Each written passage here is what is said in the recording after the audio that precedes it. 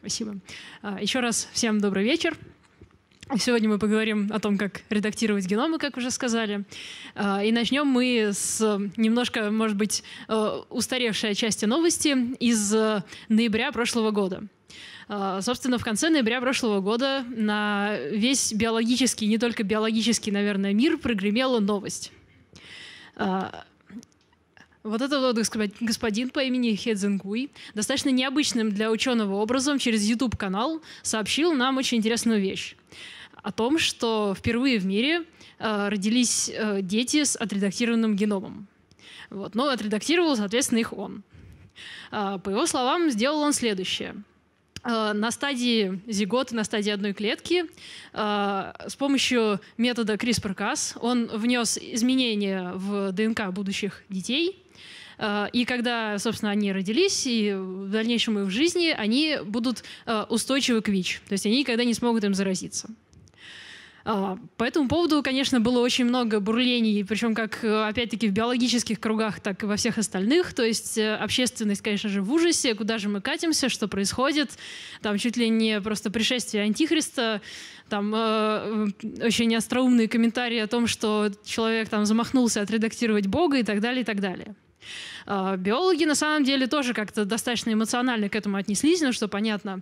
Вот. Э, Хотя тут э, эмоций был, в общем, целый спектр. С одной стороны, конечно, в душе все немножко радуются, потому что, ну, понятно, что это, за этим наше будущее, и мы ну, рано или поздно мы все равно к этому придем. Поэтому какая- какая-то вот такая радость, что вот этот шаг сделан, этот этический барьер просто выломан с ноги, и вот оно будущее. И мы наконец-то сможем э, редактировать все подряд и избавиться, не знаю, от генетических болезней всех разом, ну, когда-нибудь, по крайней мере. Но, э, с другой стороны, некоторая обеспокоенность тоже присутствует, потому что э, люди, понимающие, что он сделал, понимают, что метод, конечно, на картинке выглядит как волшебная такая таблетка, но в реальности это не совсем так, и свои проблемы у него есть. И поэтому есть некоторое беспокойство, а вдруг что-то пошло не так, и у этих детей будут какие-то проблемы. А, И, наконец, главный вопрос, который э, задают биологи, это почему он выбрал именно этот ген. А, Вот. И мы с вами постараемся разобраться, что же произошло вообще э, в ноябре прошлого года э, в лаборатории этого господина, почему биологи думают именно так, и что с этим всем делать. Вот. И начнем мы разбираться с самого начала. А с, чего, ну, с чем он работал? Он работал с ДНК. Поэтому мы тоже начнем с ДНК. У нас с вами есть хромосомы. У нас их 46 штук. э, Многие любят шутить на эту тему, на тему их количества. Вот. Это фактически э, два комплекта по 23, один от папы, другой от мамы. И это наша с вами генетическая информация. Потому что э, каждая хромосома в первую очередь содержит в себе молекулу ДНК которую рисуют обычно примерно так, такой э, дв- двойной спиралью. Вот. Это наш с вами носитель всей нашей генетической информации. Э, Каким образом он устроен, этот носитель? Э, Это, собственно, позволяет ему э, кодировать информацию. Это последовательность, э, о- о- очень длинная цепочка из неких э, блоков, которых здесь видим четыре вида, они называются нуклеотиды, э, обозначены буквами АТГЦ. И именно последовательность этих букв, э, она и кодирует фактически информацию. Но это, в принципе, не так мало. У нас есть двоичный код, которым мы прекрасно пользуемся и кодируем информацию. Здесь, можно сказать, код четверичный. Вот, в принципе, тоже сойдет. А, И, как э, было видно на прошлой картинке, э, эта молекула представляет собой две цепи. Вот, и действительно есть вторая, и она как бы работает как резервная копия, потому что, имея только одну цепь, мы можем восстановить вторую. А, Это возможно, потому что существует так называемое правило комплементарности, согласно которому напротив А всегда будет Т, напротив Г всегда будет С. Поэтому если мы знаем э, как бы одну цепь, ее последовательность, мы всегда можем восстановить вторую, и наши с вами клетки тоже могут это делать. И делают это регулярно, когда делятся и копируют ДНК.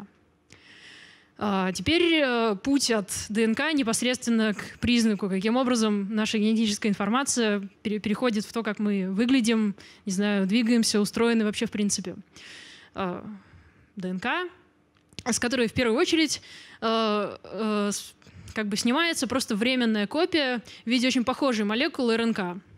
Она, в принципе, устроена плюс-минус так же, она в данном случае одноцепочечная, и я обычно вообще опускаю этот пункт, но решила, что, наверное, стоит сказать все-таки как некая главная молекула жизни.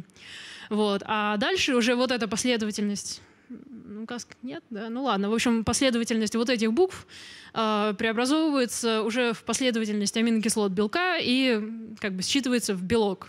А белки — это у нас э, то фактически, из чего мы состоим, э, то, почему мы в нас происходят все процессы, там, не знаю, мы двигаемся, едим, практически все, что происходит у нас в организме, осуществляется белками. Вот.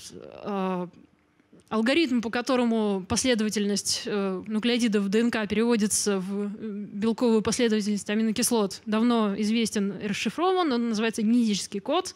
Вот э, обычно он такой вот табличкой вот перед вами.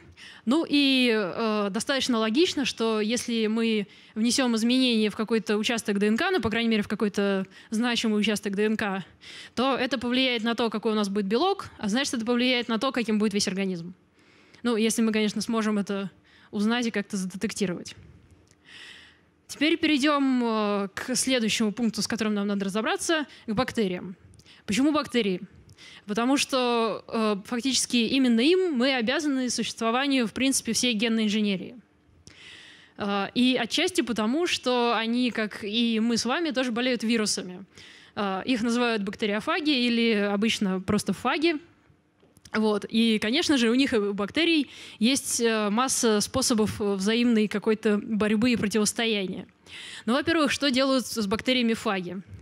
Они э, запихивают в бактерию свою ДНК и, пользуясь э, ресурсами собой бактериальной клетки, делают очень много своих копий, что обычно приводит к крайне печальным последствиям для бактериальной клетки. Вот. Клетка обычно лопается и умирает. Вот. Но бактерии, конечно же, не безоружны против, э, против вот, фагов и всего прочего, и их защита на самом деле удивительно аналогична нашей защите против тех же вирусов и, кстати, бактерий. А у нас с вами есть иммунитет, вот, и иммунитет этот э, можно поделить на врожденный и адаптивный. А, с работой активного адаптивного иммунитета вы э, наверняка сталкивались и не раз, когда болели гриппом. Потому что грипп, он укладывает вас в постель на неделю, вот, и в течение этой недели ваш адаптивный иммунитет э, как бы не знаю, затачивается под э, конкретный вирус гриппа, который вас заразил, и готовится его уничтожить. И, в принципе, рано или поздно он с этим справляется. Вот. Он, э, таким образом, он э, долго как бы готовится, но он э, специфичен к вашей конкретной угрозе, и в следующий сезон, когда штамм вируса гриппа будет другой, вам тоже не поможет. Но зато тем же самым вы больше не заболеете. Что же касается врожденного иммунитета, то если он у вас хорошо работает, вы никогда не узнаете, против чего же он работает. То есть, э, скажем, я думаю, э, мало кто из вас сталкивался с инфекцией синегнойной палочки, если только у вас не было какой-то серьезной проблемы с иммунитетом. Вот. А приводит она к очень мерзким штукам. Вот кто хочет, да, может закрыть глаза. Вот. Любопытные могут насладиться картинкой, вот, но не очень долго. Э, поэтому, да, можно глаза открывать. А, у бактерий а, система, вот именно, как бы, если делить иммунитет на врожденный и адаптивный, то у них это будет очень похоже. У них есть аналог врожденного иммунитета, который нам знаком очень давно. Он называется система рестрикции и модификации. А, работает примерно так. Это, ну, вот это опять условно бактерия, синяя — это ее собственная ДНК в таком упрощенном виде. И вот мне попадает некая ДНК чужеродная. Это может быть и вирус, это может быть не обязательно вирус. В принципе, любая чужеродная ДНК, которая попала в бактерию, она, ну, скорее всего, это то, что ей не очень нужно. А, что будет? А, у бактерии есть специальные белки, они называются рестриктазы, которые э, просто нарежут эту ДНК на мелкие кусочки, от нее фактически ничего не останется осмысленного, вот, то есть новые там вирусные частицы собраться не смогут, и вирус будет побежден.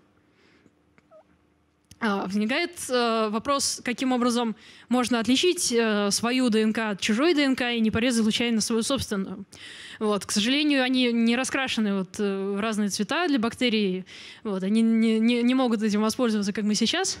Вот. Но в самой структуре есть некоторые нюансы, потому что бактерия способна свою собственную ДНК вот такими небольшими модификациями как бы изменить и ее ферменты рестрикции это смогут увидеть, и они не, не способны разрезать такую ДНК, они способны разрезать вот только вот, вот такую голенькую.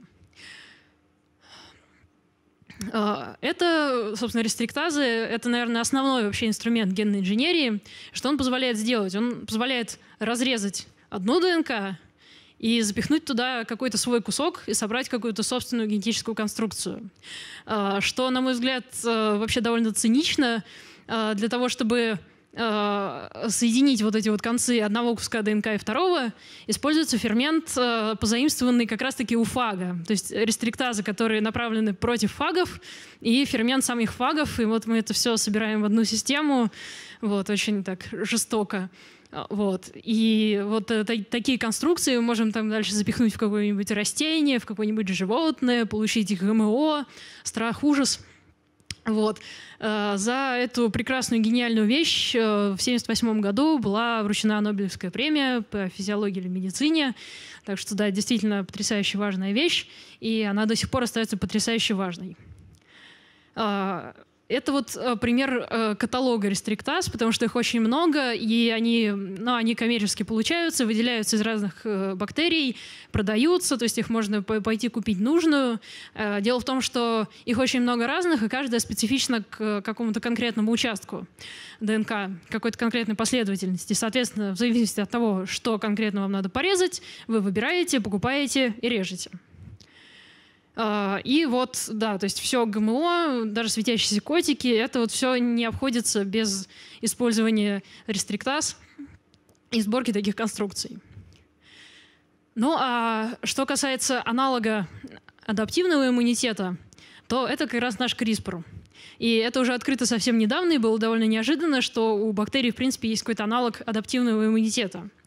Как же это может в случае бактерий работать? Вот у нас все та же чужая ДНК, которая попала в клетку. На самом деле она тоже нарезается на некоторые кусочки, но с этими кусочками дальше происходит интересное. Они никуда не выкидываются, а вставляются в, собственный, в, собственный, в собственную ДНК бактерий. А, вставляются не абы куда. А, у бактерий есть специальный, как бы, специальный участок ДНК для таких дел. А, он называется CRISPR-кассета. А, и вот э, здесь они названы спейсеры, это такое ну, историческое название на самом деле. Это вот как раз те кусочки фагов. Вот, они разделены между собой повторяющимися последовательностями, то есть они сами по себе одинаковые. Вот, и вот упакованы таким образом в ДНК бактерий. Вот. Тут же рядом есть э, гены КАС-белков. КАС-белки, они ну, фактически аналогичны рестриктазам, то есть они те, кто будет осуществлять вот эту функцию иммунитета. После того, как э, кусочки фаговой ДНК сохранились вот так вот ДНК бактерий, что происходит? Э, ну, собираются, во-первых, КАС-белки по генам КАС-белков. И, во-вторых, вот отсюда э, делается РНК. Но она обычно э, получается такая длинная, прям со всей CRISPR-кассеты, а потом просто нарезается на кусочки. Вот один такой кусочек, он соответствует одному кусочку фага. Он объединяется в комплекс с КАС-белком, и вот эта штука уже готова работать. Когда э, фаговая ДНК снова появляется в клетке, вот эта штука на нее садится и начинает по ней ехать. Э, до тех пор, пока она не доезжает до того самого участка, откуда вот этот вот кусочек был вырезан когда-то. Вот. Если вы еще не успели забыть про правила комплементарности, то здесь работает именно оно. То есть вот, вот эта РНК находит комплементарный себе кусочек, вот, и таким образом она распознается. Вот, соответственно, когда он туда доехал, э, КАС-белок э, делает кусь, и у нас э, ДНК фага снова покрошилась вот в такие мелкие кусочки. Там, соответственно, после этого ее еще потом дорежут, но главное, вот, главное начать. А, что такое вот эта красная штука? А, ну, тут а, представьте, что вот эта ДНК — это не ДНК фага, а вот та самая CRISPR-кассета, которую мы видели раньше. Это значит, что в CRISPR-кассете точно так же можно найти комплементарный вот этот РНК-кусочек и тоже решить, что ее надо разрезать, но это собственная ДНК своя, которую резать не надо. А, тут вот э, такой хитрый способ. Э, э, дело в том, что ну, вот эта последовательность, она называется PAM. А, это достаточно, нет, это ничего сложного, это буквально три нуклеотида, а, которые, они, они достаточно постоянные для каждой бактерии, и они специально вот этот э, кусок, который они сохраняют себе, выбирают поблизости от этого пама. Но при этом сам пам не сохраняется. Таким образом, если бы это была CRISPR-кассета, его бы здесь не было. Такой вот э, способ э, отличить свое от чужого. В случае рестриктаса он был другой, он был за счет модификации ДНК. Здесь э, вот почему-то именно так. Хотя есть еще другие варианты, которые э, не требуют участия ПАМа, но это тоже довольно интересно. Э, еще раз то же самое на картинке, которая чуть более сложная, но зато сразу все вместе. То, что попадает ДНК, режется на кусочки, вставляется в CRISPR-кассету. Потом ДНК снова попадает, но в, этот момент уже готова э, вот эта РНК с, CRISPR-кассеты, разрезается на куски, объединяется с Cas-белками, и они режут все на мелкие кусочки. Здесь вот э, еще раз обращается внимание на ПАМ. Вот, ну да, ну, вот четыре буквы, как бы, ну не суть важно, что, что именно. Uh, история открытия вот этого всего на самом деле совершенно потрясающая. Вот. Она началась в 1987 году uh, со статьи, которая, в общем, она никак не относится ни к иммунитету бактерий, вообще ни к чему не относится. Просто люди изучали какой-то ген кишечной палочки, вот, они прочитали его последовательность, вот. И в конце статьи заметили, что, в общем, мы тут э, рядом с нашим геном нашли какую-то странную штуку, мы вообще не понимаем, что это, мы первый раз это видим, никто раньше этого не видел.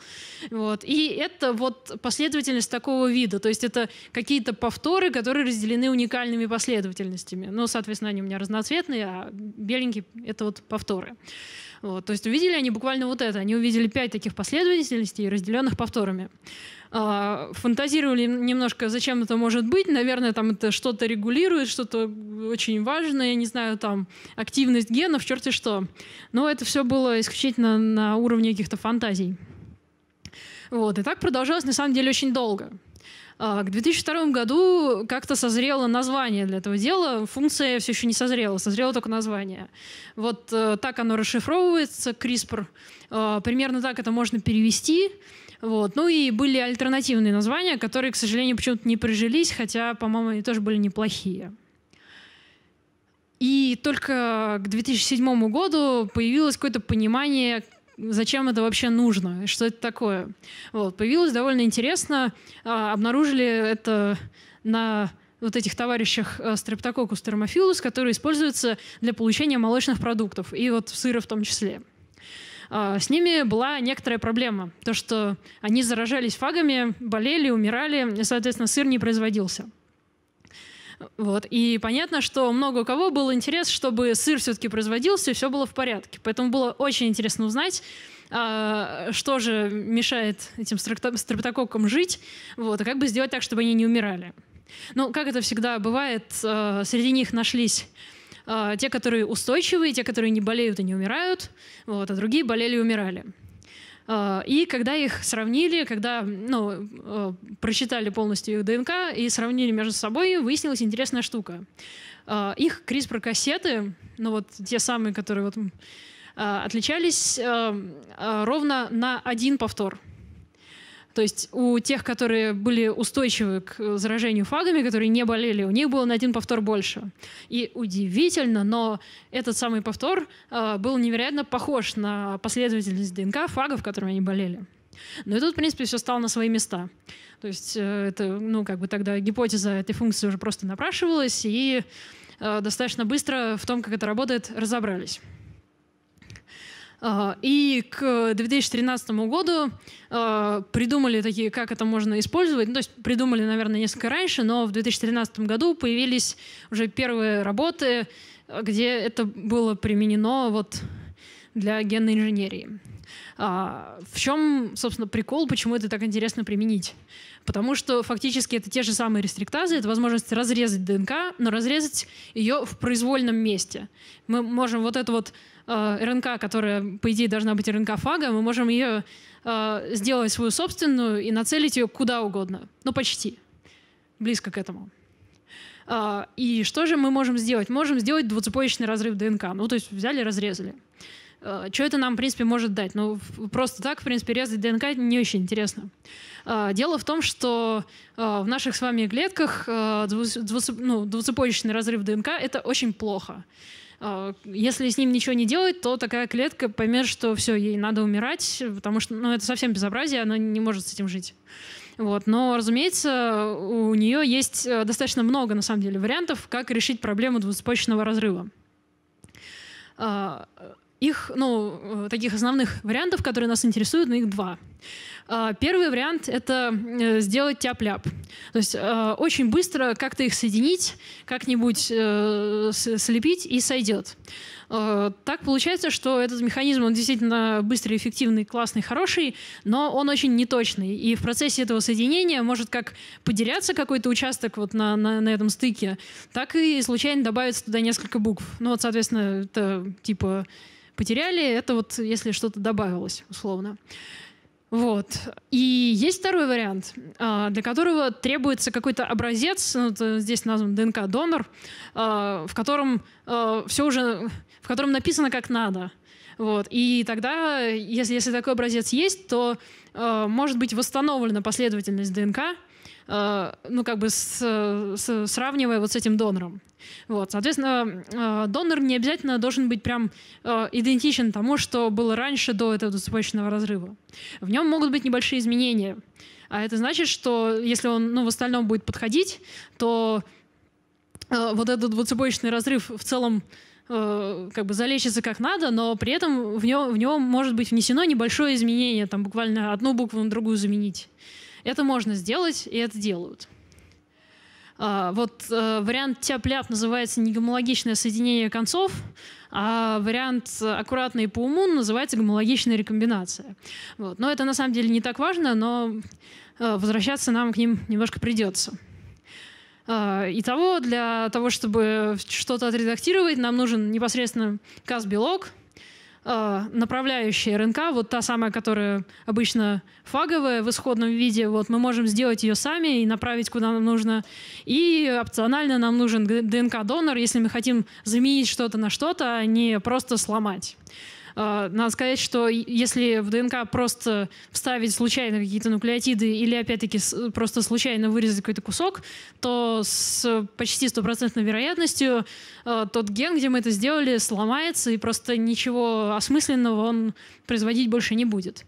Вот. И, в общем, с этим набором мы способны менять какие-то наши признаки и характеристики. А, возникает вопрос какую изначальную природную систему стоит выбрать. Потому что, в принципе, CRISPR-Cas-системы достаточно распространены. Вот долгое время считалось, а, что э, эта система существует у примерно половины бактерий и практически у всех архей. А, наверное, стоит пояснить, кто такие археи. В общем, это почти как бактерии, но они как бы... Это вообще не бактерии, но они почти как бактерии, а мы с ними не сталкиваемся, потому что мы ими не болеем. То есть это ребята, которые зачастую живут там в каких-нибудь горячих источниках, вот, и мы просто мало с ними контактируем, поэтому обычно о них не слышим. Но это не суть важно э, для конкретной этой истории.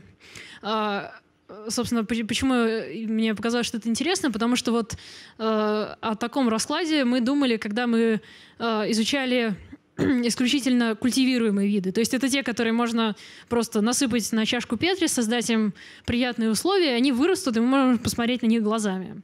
А, дело в том, что таких бактерий и археи на самом деле не, не так уж и много. А большинство, как оказалось, мы культивировать не можем, мы можем только читать их геномы, не видя их самих. И вот когда эти геномы прочитали, выяснили, что CRISPR на самом деле распространен среди них не так уж и широко, это по 10% и у тех, и у других. Но, надо сказать, это все равно довольно много. А если уж мы говорим о, в принципе, разнообразии CRISPR-Cas-систем, то оно просто чудовищное. Вот э, эта картинка, мне приходилось в ней разбираться, поэтому меня она вызывает ужас. Вам в ней разбираться не надо, поэтому это так чисто пощекотать нервы разве что.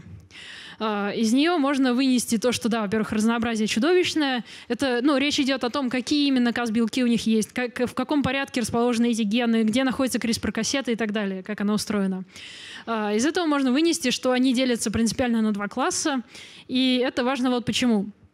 Потому что на еще более, нет, наверное, менее ужасающей картинке, но все равно ужасающей, а, можно увидеть, что а, для представителей а, класса 1, это вот э, кучка слева и кучка справа, характерны совершенно э, гигантские белковые комплексы с огромного количества белков, которые вот они все нужны просто для того, чтобы разрезать ДНК. Вот. В то же время существует э, класс 2, который обходится всего одним белком для той же самой цели. Вот. Но, в общем-то, выбор очевиден, что один белок — это намного удобнее, чем там 13, и один ген, с ним как-то тоже работать проще, чем с 13.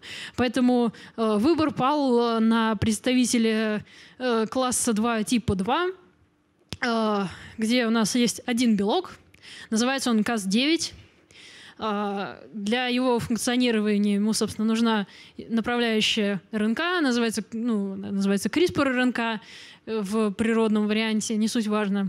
А, и на самом деле, э, что интересно, ей нужна еще одна фиговина. Это тоже РНК, называется тракер РНК.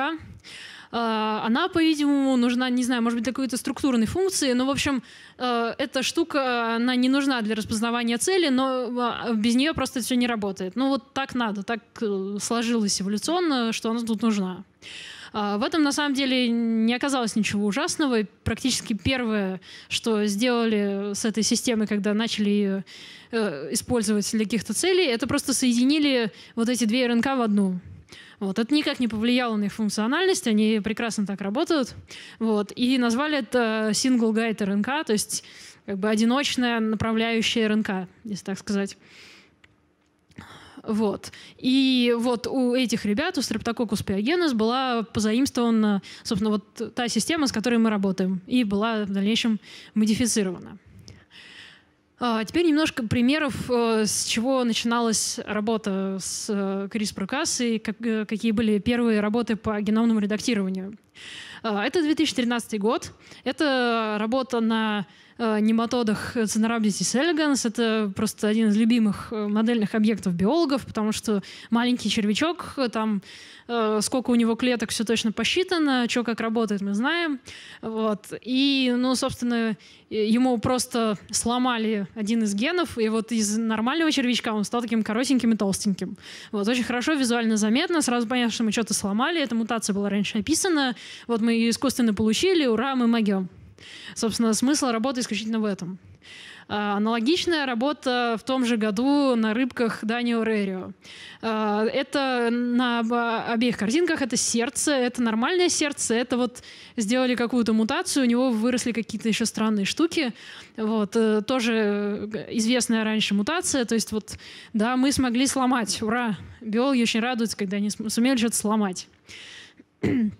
А, на человеческих культурах клеток тоже было что-то подобное, то есть там тоже пробовали, что да, работает. Вот. Но просто на них не, не так хорошо визуально видно, что что-то сломали. А, Еще годом позже была уже более интересная работа на мышках. Э, к ней, к сожалению, не было фотографий мышек, поэтому схематично.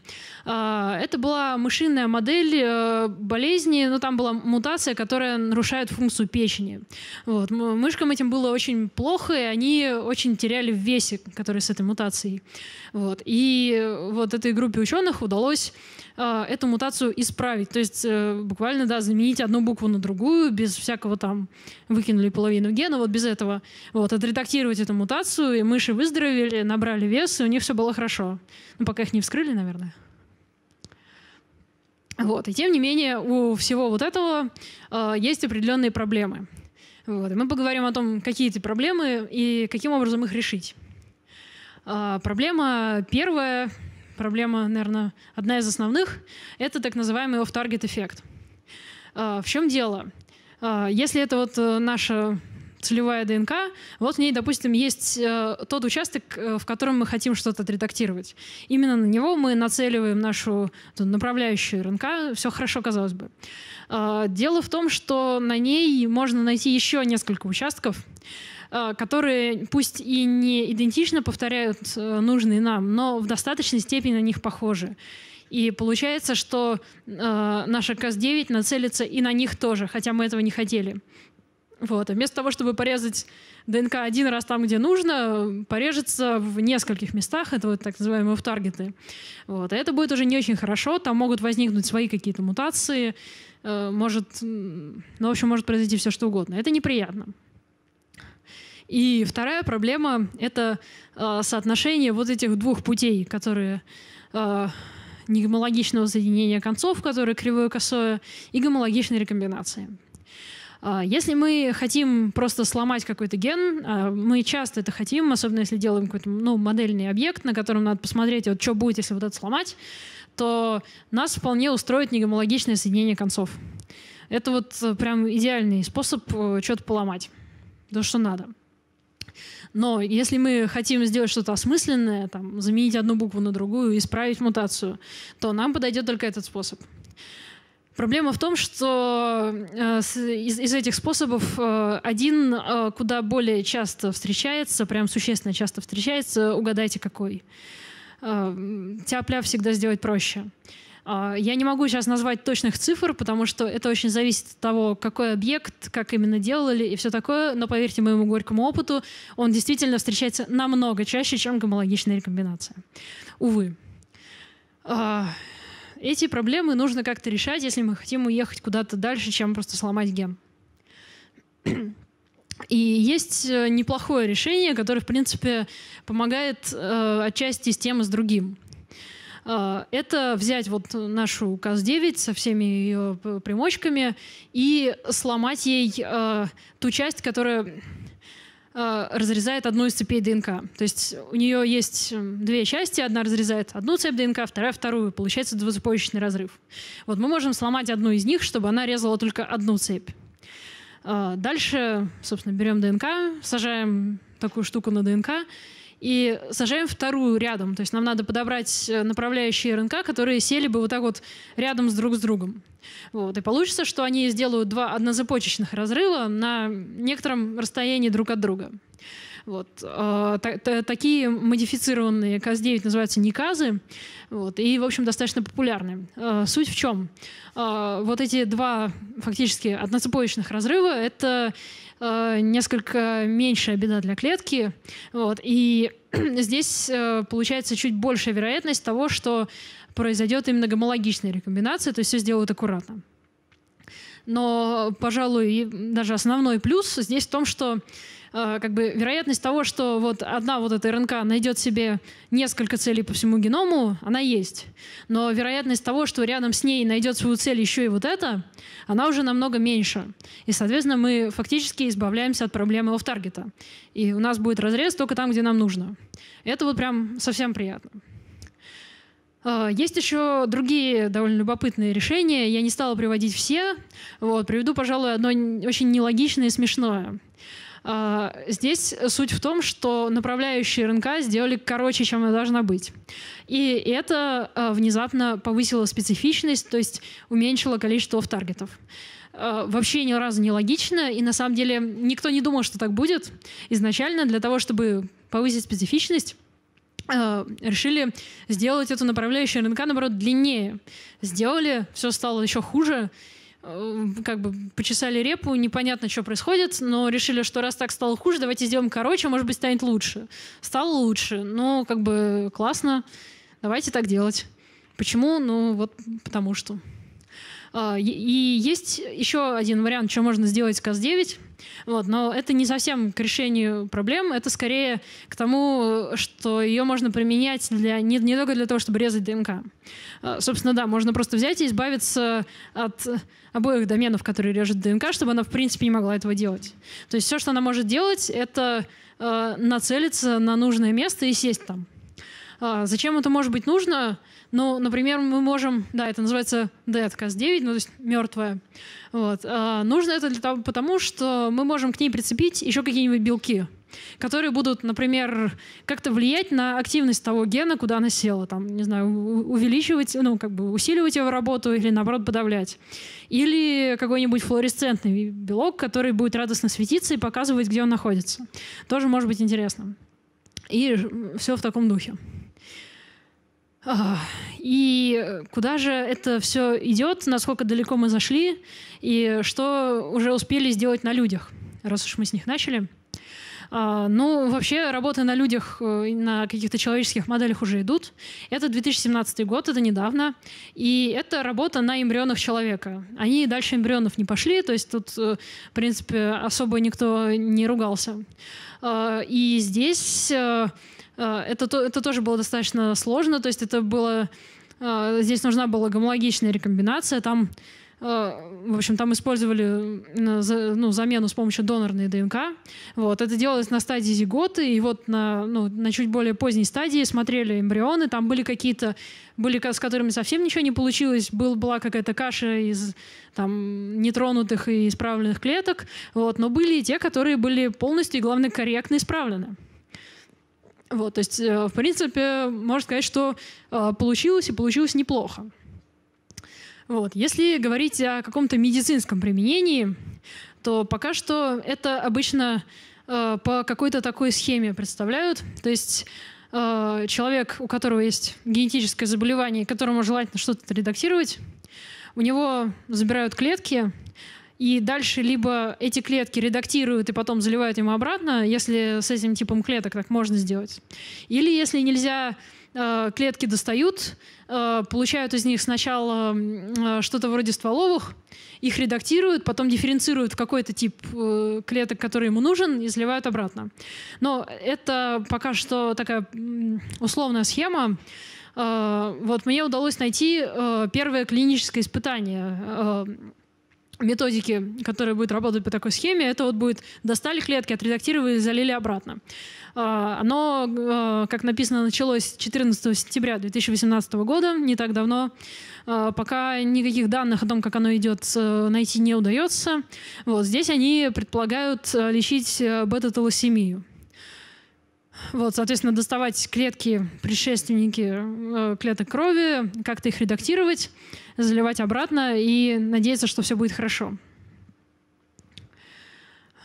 Вот. И, ну, в общем, насколько действительно все плохо и страшно, как бы вот уже есть какие-то работы на людях, клинические испытания, ГМО, люди, мутации, страшно, ужасно, куда мы катимся, что происходит. А, в общем, ничего страшного не происходит, нет, мы не заигрались. Дело в том, что мы не делаем ничего такого особенного, чего уже, чего не случалось бы. То есть, в принципе, мутации — это нормальный процесс — у нас случаются мутации, случаются даже полезные. Например, так люди научились а, усваивать лактозу. Случаются не очень полезные, случаются нейтральные. Вот. Но так или иначе, это естественный процесс. А, примерно 40 новых мутаций у нас получает каждое следующее поколение от предыдущего. А, и эти мутации, они абсолютно случайные, то есть там может случиться на самом деле какая-то невероятная гадость. Вот. При том, что когда мы редактируем геном направ... направленно, мы все-таки стараемся э, сделать что-то хорошее и полезное по крайней мере, не навредить. Другой вопрос, насколько это получается, но вряд ли получится что-то хуже того, что может возникать само собой. И теперь все-таки вернемся к работе нашего китайца и разберем, э, что, в нем, что биологам нравилось и не нравилось в работе. Ну, во-первых, что, собственно, конкретно он сделал. Uh, у нас на иммунных клетках есть такая молекула под названием CCR5. Uh, это рецептор, с которым uh, взаимодействует вирус иммунодефицита человека и таким образом проникает в клетку. Вот, соответственно, э, известна и описана мутация, которая ну, просто ломает ген этого рецептора, и в итоге на клетках его просто нет. А значит, э, вирус никак не может с ней взаимодействовать и не может ее заразить. Э, таких, ну, люди с такой мутацией есть, у них, в принципе, все в жизни хорошо, вот, и плюс к этому они еще не могут заразиться ВИЧ. И, собственно, наш китаец э, вот ровно это и сделал. То есть он просто сломал ген этого рецептора, чтобы ну, в, в результате такой человек не мог заразиться ВИЧ. А, и, собственно, вопрос, почему этот ген, на, на него, наверное, теперь уже не так сложно ответить. А, поскольку, чтобы внести это изменение, ген надо было все-навсего сломать. Это значит, что не надо было заморачиваться там, с гомологичной рекомбинацией и так далее. То есть э, это была достаточно простая модель. А кроме того, э, для нее еще не надо было искать э, специальных больных людей, можно было взять практически любых желающих, и вот, видимо, желающие нашлись. Надо заметить, что рецептор CR5, он вообще не очень понятно, для чего нужен, и, судя по всему, без него только лучше. Недавно вот, ну, э, в 2016 году выходила статья, где э, были какие-то данные насчет того, что его отсутствие улучшает когнитив, когнитивные способности. Вот. И совсем недавно была статья о том, что э, опять-таки сломанный CCR5 — это очень здорово, если у вас инсульт, вы быстрее восстановитесь. В общем, пока что одни плюсы. И, и к тому же еще и ВИЧ не получится заразиться. Просто красота со всех сторон. В принципе, скорее всего, у этих детей особых проблем в жизни быть не должно, если, конечно, все прошло хорошо. А, вот. А, ну, что касается, что могло пойти не так, в основном тут было, было беспокойство из-за оф-таргет эффектов. То есть, возможно, там что-то порезалось у них где-то еще, случились какие-то неприятные мутации и так далее. Но, как и сам Э, Хедзинкуй э, сообщал, что оф-таргетов нет. Так, э, насколько я поняла, кто-то их проверял, этих девочек, которые родились, и действительно у них все хорошо, и в таргет эффектов не было. То есть по какому поводу еще можно беспокоиться, не очень понятно, хотя, ну да, все равно тревожно, все-таки первый раз на живых людях. Ну и да, это, конечно, очень приятно, что, в принципе, мы такое уже можем делать. И я надеюсь, что э, вот эта выбитая с ноги этическая преграда, она все-таки не, не возведется с новой силой, э, потому, и не, не отбросит это все еще на несколько десятков лет. Потому что, конечно, это все назревает. Может быть, не так вот сходу и не так вот никого не спросив, но, тем не менее, э, все равно у нас масса генетических заболеваний, и, наверное, мы все хотели бы, чтобы у нас их больше не было, чтобы их можно было не просто э, вылечить, а просто они перестанут от этого быть генетическими, мы перестанем их передавать своим потомкам. Достаточно будет вылечить кого-то одного, и все. Ну, и для его потомков вопрос будет решен. По-моему, это здорово. Я надеюсь, что вот этой историей мы скорее приблизились, чем отдалились от этого прекрасного будущего. А, по этой ссылке можно увидеть э, достаточно обширный список э, литературы по CRISPR-Cas, э, ссылку на YouTube-канал этого прекрасного китайского господина и немножко ссылок по поводу CR5. Вот. Мои контакты, если кто-то захочет пообщаться, спросить что-то подробнее потом. Вот. На этом все. Спасибо. Спасибо, Аня. Это была не очень длинная лекция Анны Урум. А теперь дальше вопросы. Есть у кого? Поднимайте руки и держите.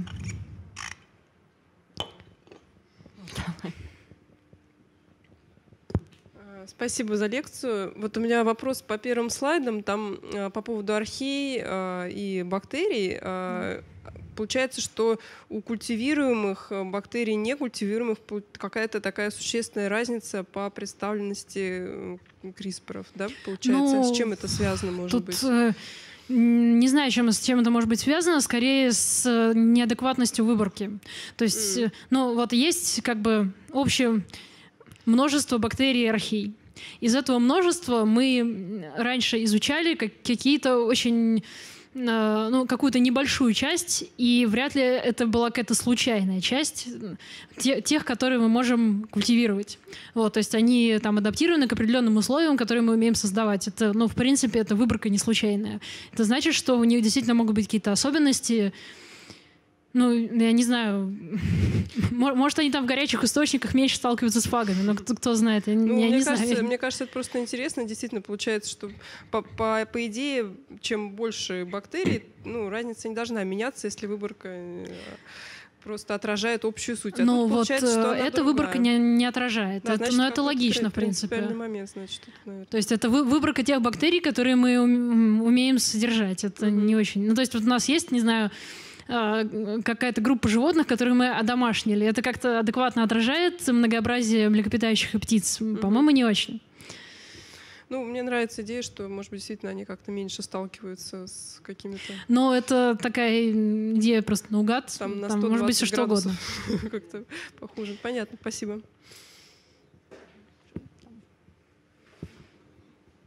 Дуква. Спасибо большое за интересную лекцию. И у меня возникло два вопроса. Вопрос номер один. А вот у нас в стране, вот чисто у нас, насколько у нас все хорошо с генной инженерией или все плохо? И вопрос номер два, действительно ли морально-этический барьер так сильно мешает? Потому что я помню лекцию Панчина, он говорил об этом, и вот здесь идет разговор хоть есть примерные какие-то временные рамки, когда этот морально-этический барьер будет сломлен? Или должна будет произойти какая-нибудь революция, именно что революция, резкий перелом, чтобы все сказали, ну да, науке это была можно. почти она. Но э, по поводу, насколько все хорошо или плохо в России, ой, ну вы точно хотите ответ на этот вопрос? Ну, скажем так, у нас э, есть буквально какое-то считанное количество биологических лабораторий, в которых происходит что-то интересное. Конкретно в моей лаборатории, я надеюсь, я хочу верить в то, что происходит что-то интересное. Вот. Но в целом э, картина довольно печальная. Как-то э, редактировать геномы это очень круто, но когда тебе хочется кушать, тебе не очень хочется редактировать геномы. Э, ну ладно, э, что касается этических барьеров. Ну, фактически, это вот просто чувак пришел, сделал, фактически никого не спросив. Ну, то есть там была какая-то мутная история, что исходно э, он вроде бы сказал, что он получил разрешение. В Китае получить разрешение несложно. Там чуть ли не пошел в больницу, главврач тебя подписал, вперед. А, но потом спросили тех, кто, по идее, должен был выдавать разрешение. Они такие, не, нет, не мы, ничего не знаем, нас тут не было, ничего не слышали. То есть э, вообще спрашивал ли он кого-то, науке неизвестно. А, ну, вот, э, опять же, насколько это долго и как пойдет, э, сказать трудно, потому что, конечно, реакция общественности была, мне кажется, избыточно агрессивная, то, что он сделал. Вот. И, ну, э, либо мы будем просто жить с тем, что как бы дело сделано, и у нас уже есть вот эти первые отредактированные дети, и у них, кстати, ну, если у них все будет хорошо, то у них все хорошо, и это может э, как-то ускорить процесс. Вот, потому что, ну, даже эксперименты на человеческих эмбрионах шли довольно туго. То есть э, сначала делали специально на триплоидных эмбрионах, то есть, ну, они, в принципе, не способны развиваться там дальше определенной стадии. Вот, разрешали эксперименты только на них. Вот. Потом там тоже очередные китайцы пришли, сказали, мы вот сделали вот на обычных человеческих эмбрионах, вот смотрите, у нас получилось. Все такие челюсти падают, но что делать? Китайцы сделали, но как-то приходится двигаться. То есть э, либо как-то примут это как данность и начнут двигаться дальше, либо, возможно, все, все как-то слишком перенервничают, и это может как-то наоборот отбросить этот процесс, и теперь там, не знаю, каждый, кто заикнется о том, что вот он хочет э, отредактировать людей, там, не знаю, его сразу будут сжигать. Ну, бывало по-разному.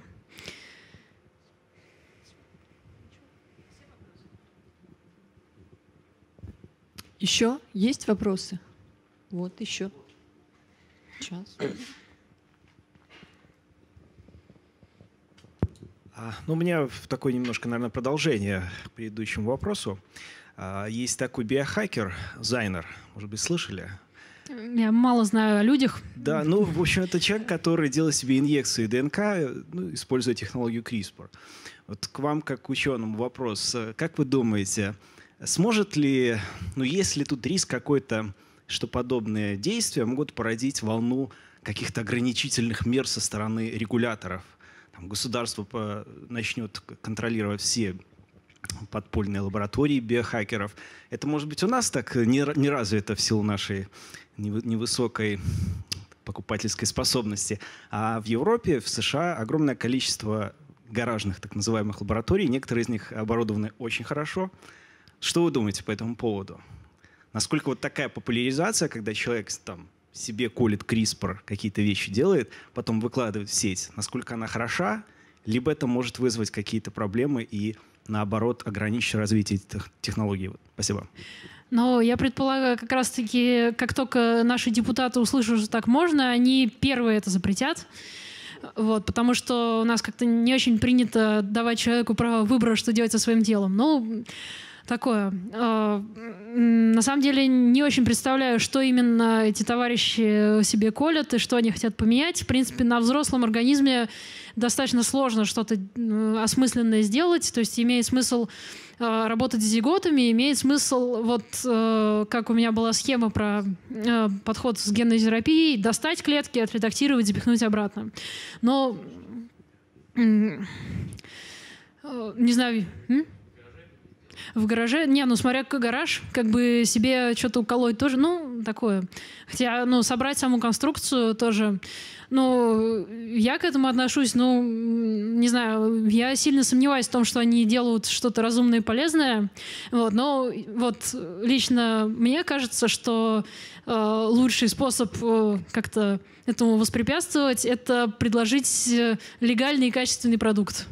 То есть нормально редактировать людей. Грамотно и аккуратно. Настолько, насколько это возможно. Я надеюсь, мы к этому придем. А, была такая история не очень давно, то что а, один человек, точнее их даже несколько, вот именно редактирование генома на живом человеке. А, одна связана с ребенком, у которого была болезнь, связанная с кожей, которая травмировалась при любом касании, и в итоге его вылечили э, с помощью, собственно, этой данной технологии, если я не ошибаюсь. И он после этого смог нормально жить, играть в футбол, как обычный ребенок и так далее. И другая была связана с взрослым уже мужчиной, которому около 40 лет. Э, и он болел мусковисцидозом, если я не ошибаюсь. И тоже благодаря редактированию генома в живом человеке смогли его от этого, так сказать, избавить. Хотя, конечно, ну, тот вред, который был нанесен организму э, за период его жизни, восстановить э, невозможно. Вот мой вопрос в том, что какие э, может быть, известны другие случаи использования данной технологии на живом человеке и какие, то есть, что условно возможно будет в будущем? Ну, я могу, конечно, ошибаться, потому что я плохо помню все эти случаи. А, по-моему, по крайней мере, с кожей это была история серии «Взяли кожу, поменяли, положили кожу обратно». Там еще, по-моему, эта история с пересадкой кожи, в принципе, была довольно увлекательная. Ну, да-да-да, то есть все по той же схеме. Ну, э, насколько я знаю, пока таким подходом все ограничивается. То есть такое, чтобы вот не на клетках человека, а именно в самого человека вкалывали, я, честно говоря, не слышал. Ну, а вот э, человек, который болел мусковисцидозом? Ну, я не помню этого случая. То есть, ну, то есть значит, в принципе, что... реально ли э, э, использование данной технологии на человека, который жив? Но гипотетически, если мы найдем способ как-то нацелить, то, может быть, да. Но тут есть проблема, что э, не, в общем, э, не стопроцентная эффективность э, метода. То есть э, если мы достаем клетки и мы их потом редактируем, то у нас есть возможность отобрать нужные и положить уже нужные, с которыми все точно хорошо, и с ним нет никаких проблем. Вот. Это, наверное, главная причина, почему делают именно так. Если вот прямо на живом человеке там доставлять какой-то куда-то конкретно, вот, то такого не будет, и там что-то отредактируется, что-то нет, где-то получится, не знаю, какая-то лапша из ДНК, вот такое. Да, я могу просто буквально два слова про да. муковисцидоз, кожу и так далее. Минут Дело на 20 том, что... жги. Нет, нет, не на 20. Если что, то как, как предыдущий лектор, давай. Но это, это часть моей следующей лекции про программирование на ДНК. Я там не буду так подробно говорить про CRISPR, но немножечко расскажу, как бы это один из методов. А, тут суть в чем? А, суть в том, да, прошу прощения. А, тут суть в том, что у нас есть поверхности, и именно с этими поверхностями возникла некая проблема. И, соответственно, когда мы нацеливаем что-то, например, ну, если мы говорим о муковисцидозе, обычно главная поверхность, которая есть проблема, это внутренняя выстилка легких вот этот эпителий, который изнутри легкие выстилает. А, суть муковисцидоза состоит в том, что эти легочные клетки выделяют очень много слизи, слишком много, чем может выводиться, как у нас обычно выводится с кашлем, э, то, что мы даже не замечаем. То есть то, что человек постоянно сглатывает, он там половину сглатывает слюну, а вторую половину сглатывает слизь, которая выводится из легких. Мука, при муковисцидозе ее намного больше. И мы можем сделать что? Мы можем просто вычистить какой-то момент эту слизь, собрать искусственный вирус, содержащий CRISPR, который починит легкие, и просто запшикнуть туда обычным э, этим ингалятором. И этот вот искусственный вирус, попав в эти клетки, сломает там нужный ген или починит там нужный ген, и, соответственно, муковисцидоз в части клеток будет излечен. Чем больше клеток будет излечено, тем меньше будет выделяться слизи, даже если какая-то часть их, из них останется. Но вопрос в другом. Вопрос, если нам надо все клетки поменять, с этим, конечно, будут намного больше проблемы. Поэтому очень легко сделать это на эмбрионах, когда человек — это одна клетка. Ее поменял, посмотрел, что все хорошо, и пустил дальше развитие. Ну, еще Две проще, минуты. если у нас э, есть возможность, но если нам не обязательно это получить прямо в этом поколении, то есть на каких-нибудь мышках мы можем вполне работать с эмбрионом из нескольких клеток.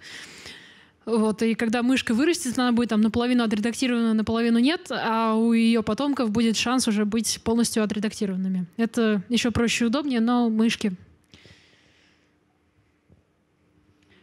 Еще давайте вопросы. Может быть, не по теме, может быть, у вас есть какой-то вопрос, который давно таился насчет ген. Нов. Можете спросить, что такое ген, но лучше не надо. Давай. А Можете рассказать, э, поскольку вы в теме, вот что в Москве, ну, наверное, может, шире в России, в России вообще делают с CRISPR? Какие тематики есть и какие есть успехи, может быть, или поражения? Ну вот, э, у меня м, магистерская работа э, посвящена тому, чтобы э, как раз сделать замену одного нуклеотида на другой для того, чтобы создать ну, модельную клеточную линию. Вот, успехи, ну, у меня пока получается только, вот, в общем, все сломать. Вот, то есть у меня огромная коллекция клеток, у которых сломан этот ген. Вот.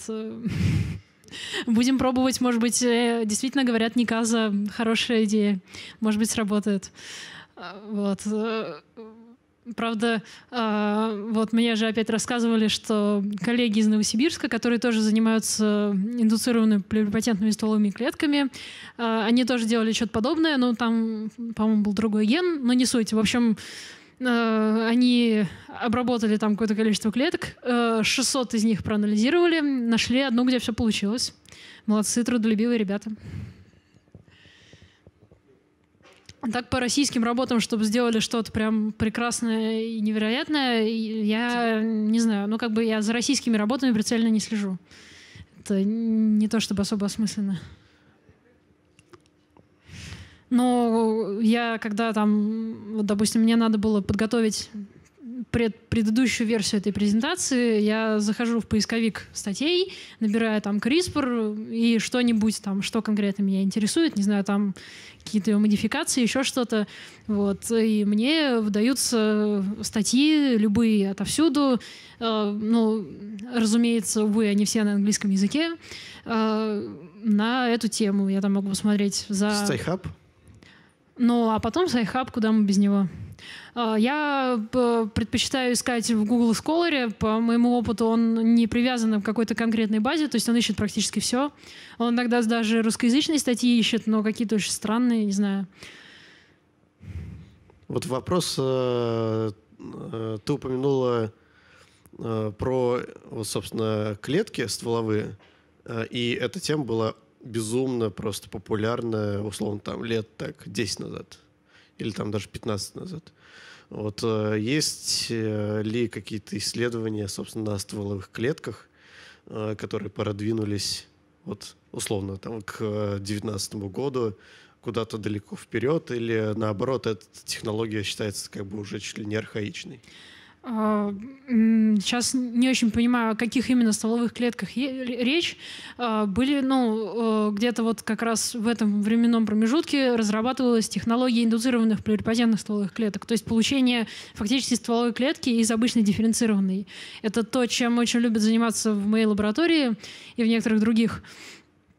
Вот, и, ну, это отличная идея, она прекрасно работает, у нее есть масса перспектив, потому что мы не можем, например, вытащить у человека мозги, их там отредактировать и положить обратно. Зато мы можем выковырять у него кусок кожи, а, э, как-то что-то с ним сделать, потом дифференцировать в мозги и, возможно, когда-нибудь запихнуть обратно. Так, эта технология развита? Ну, э, вот чтобы засунуть в мозги, пока, насколько мне известно, нет. Там есть определенные проблемы, но как бы над этим работают. Э, учатся дифференцировать в разные типы клеток. Э, вот там была прекрасная история о том, как получали сперматозоиды из соматической клетки. Вот, ну... А эмбриональные стволовые клетки перестали использовать, или они еще где-то на периферии, или наоборот в центре mm. внимания? Ну, вообще мне попадалось. Э, насколько я знаю, да. Ну, то есть происходят ли какие-то там и, медицинские и, вот именно методики, допустим, там лечения вот на основе данных технологий или вот я говорю ими только в лабораториях там узкоспециализированные какие-то ученые занимаются? Ну, мне сейчас приходит в голову статья вот, тоже прошлого года. Э, там э, из как раз эмбриональных стволовых клеток дифференцировали пигментные эпителии сетчатки Э, и, э, ну, в общем, засовывали его в глаза людям, у которых э, эти клетки погибали. Там у них, я не помню, как это называется заболевание, но, в общем, у них нет этих клеток в сетчатке, у них там до этого проблемы. Вот. Делали на, ну, на живых пациентах, и, вот, и вроде что-то получилось. Ну, то есть, видимо, работает. Спасибо. А сейчас все наблюдают за CRISPR-Cas системы. Но а, есть же другие системы редактирования mm. генома. Например, там в основе, по-моему, трансфекции плазмид лежат какие-то исследования. Вот почему именно вот на CRISPR-Cas вот мы заострили внимание? Насколько стоит именно на этом концентрировать свое внимание, а не на каких-то других системах? А, ну, а, трансфекция плазмид, это, кажется, было что-то немножко из другой оперы. Есть еще как минимум два других способа редактирования генома. Это талины и цинковые пальцы. Я, честно скажу, я в них не разбиралась, поэтому как именно они работают, я рассказать э, толком не могу. Но это тоже способ нацелить на какой-то конкретный участок ДНК произвольный, вот, и тоже что-то отредактировать. А, с ними в основном проблема то, что они тупо сложнее. Причем э, тот же Таллин в, в некоторых ситуациях может быть эффективнее. Вот я когда изучала, что бы мне поменять в моей методике, чтобы у меня все заработало, я находила статьи, где было показано, что Таллин в моем случае сработал бы лучше. Но он сложный, он просто технически сложный. Здесь все очень просто. Здесь надо собрать плазмиды, где будет ген КАС-9, э, ген вот этой РНК, там какие-то вспомогательные гены, и, по сути, все. И запихнуть это плазмиду в клетку. Это тоже просто. Вот, скорее всего, именно поэтому, потому что какие-то сложные дорогие методики, но это всегда проблема, от них всегда хочется уйти. Иногда даже ущерб эффективности. Вот есть даже еще более характерный пример, он про секвенирование, про чтение ДНК. А, есть а, просто идеальный точно метод э, секвенирования ДНК, он вообще не дает ошибок. Вот. Но его никто никогда не использовал, потому что он очень долгий и очень медленный. Там буквально вот несколько нуклеодидов можно прочитать, и, и все. А надо много. Вот. Поэтому есть те, которые проще, менее точные, но зато их можно использовать. Ну вот это так работает.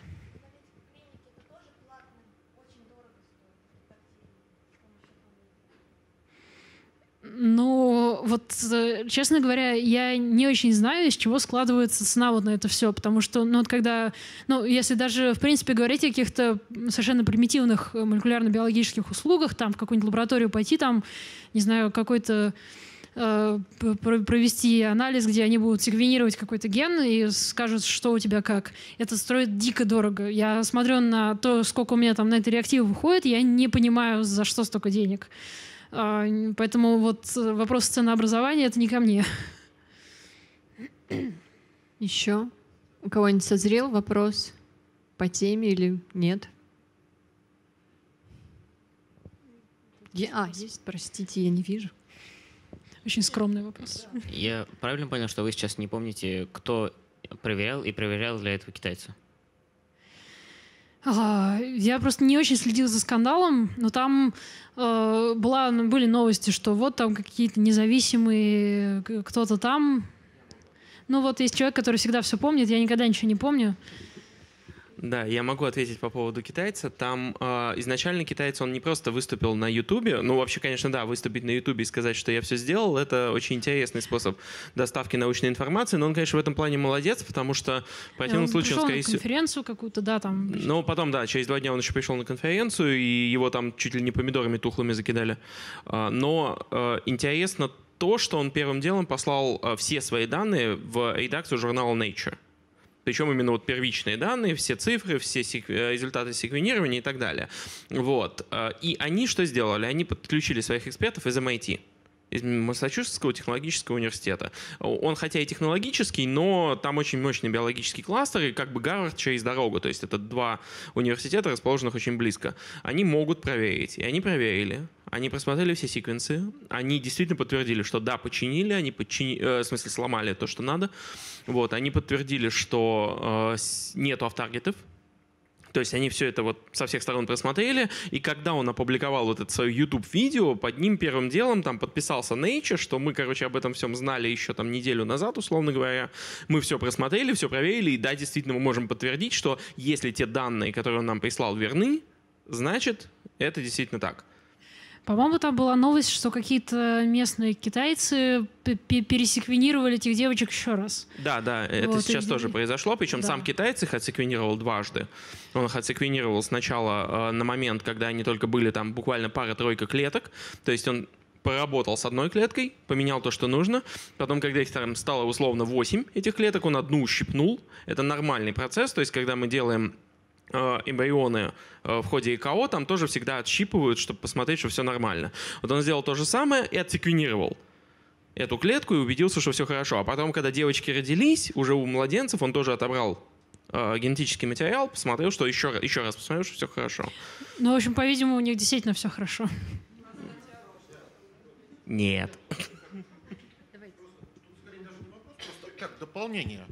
О, в, да, развитии всё- раз- в развитии разговора просто ну, данный сотрудник, он был сотрудником Шэньчжэньского университета, получал деньги, нецелевым образом использовал грант и оповестил об этом американскую общественность. Ну, за что сейчас будет расстрелян.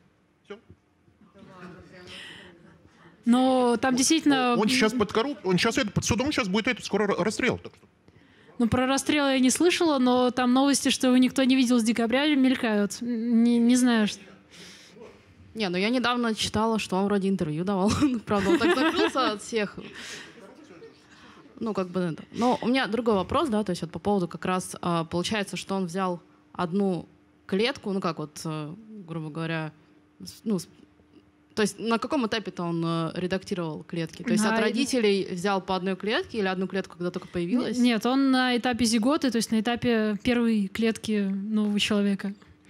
Ну, то есть он, получается, это Ну, то есть вот сразу после оплодотворения, вот, вот, вот примерно в этот момент. Понятно. Такое. Ага. А, Я думаю, что я в состоянии рассказать это даже...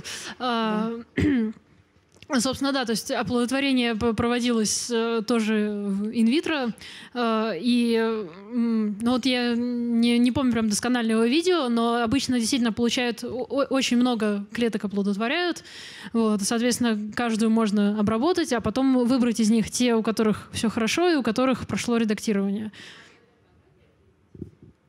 А, именно вот э, эм, редактирование происходит на этапе одной клетки, потому что надо, чтобы весь организм как бы был этим захвачен впоследствии. Вот. А проверить можно, когда они уже чуть подрастут и будет больше. Ну, это логично. М?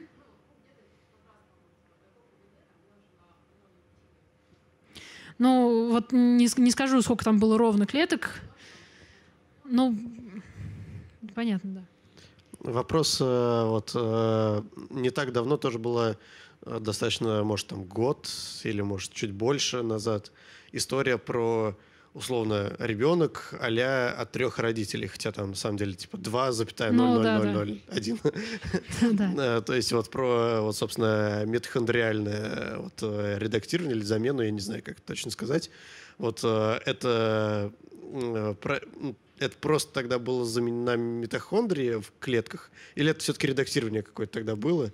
А, И, в принципе, возможно ли редактирование CRISPR-Cas а, вот, доступ, там, при- например, для данного типа заболеваний, когда нужно отредактировать, допустим, заба- как бы неработающие митохондрии, чтобы вот родился здоровый ребенок. А, ну, вот конкретно тот случай, там все было очень просто. Насколько я помню, там взяли, соответственно, яйцеклетку со здоровыми митохондриями, вот этот самый третий родитель, и в нее э, пе- пересадили ядра, соответственно, от, от двух основных родителей. В сами митохондрии. То есть э, именно ядра от митохондрий, а не Нет, сами я- митохондрии. ядра клеток. Митохондрии, вот они плавают в большой цитоплазме яйцеклетки, их там очень много, и каждую митохондрию просто, ну, их, их очень много, правда. С ними ничего не сделаешь. Поэтому проще просто из яйцеклетки с плохими митохондриями забрать ядро и переложить в яйцеклетку с хорошими митохондриями, условно говоря. Вот. Это не, не требует ни- никакого другого редактирования. Собственно, ну, это все, что сделали. Вот. А что касается редактировать митохондрии, ну, во-первых, их очень много.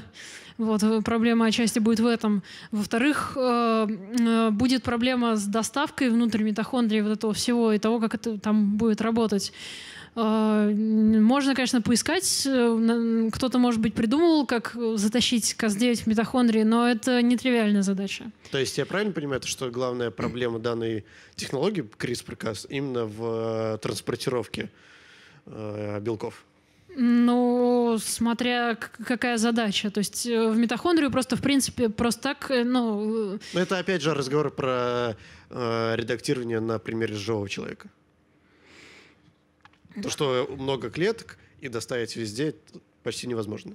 ну это, это всегда так. Обработать каждую клетку, если у нас их несколько триллионов, это проблема. В принципе, пусть это CRISPR или не CRISPR.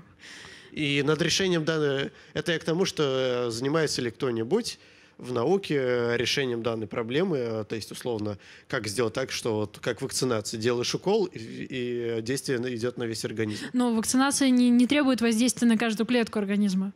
Но обычно способы доставки крутятся вокруг вирусов, которые там можно тоже нацелить на строго определенный тип клеток и, э, соответственно, запихать в вирус то, что нам нужно, и тогда он дос- доставит куда надо.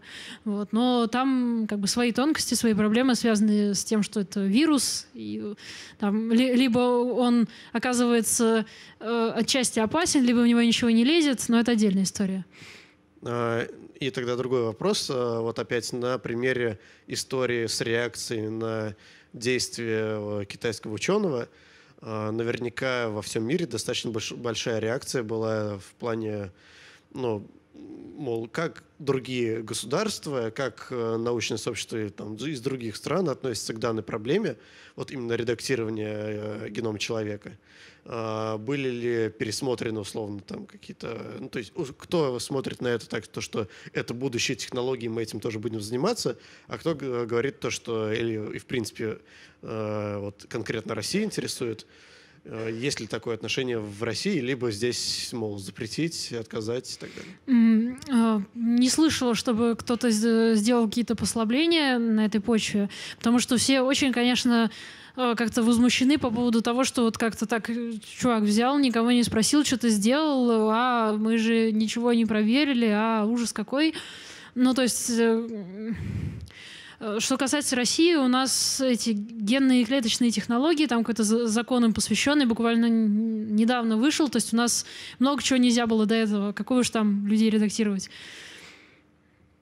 Э, Чтобы кто-то резко кинулся что-то запрещать, пока тоже не слышала, но я за законами не очень слежу, как кто знает. Но вроде новостей таких не проскакивало. Спасибо.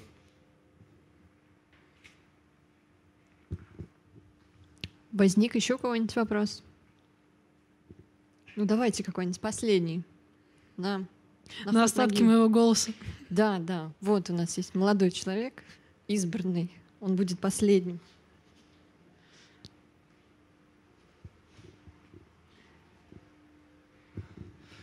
Спасибо большое за лекцию еще раз. У меня такой вопрос с галерки обыденный. Э, Сколько дней и ночей у вас ушло на изучение вот этой огромной системы страшной, которую нам показали сегодня в лекции? А, Тут э, трудно сказать, если что, это третья версия этой лекции, потому что первая версия была для семинара на кафедре. Вот, э, там, соответственно, она была без объяснения, что такое ДНК. А Вторая версия, она была для студентов-первокурсников, она была чу- еще чуть попроще, теперь она совсем проще. Вот. К первой версии по-нормальному, наверное, суток трое. Вот, но почти не отвлекаясь. Сон был, еда. Ну так. Самые необходимые, да? Только. Ну, да. Нет, у нас Роман решил еще. Что-что? А, человек, наверное, 30. И, наверное, больше половины из них это студенты. У нас очень молодая лаборатория.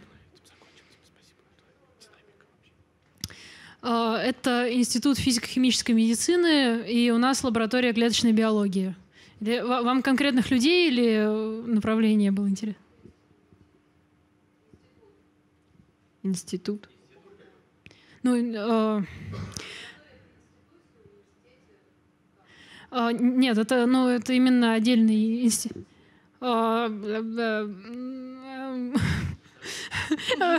Я не...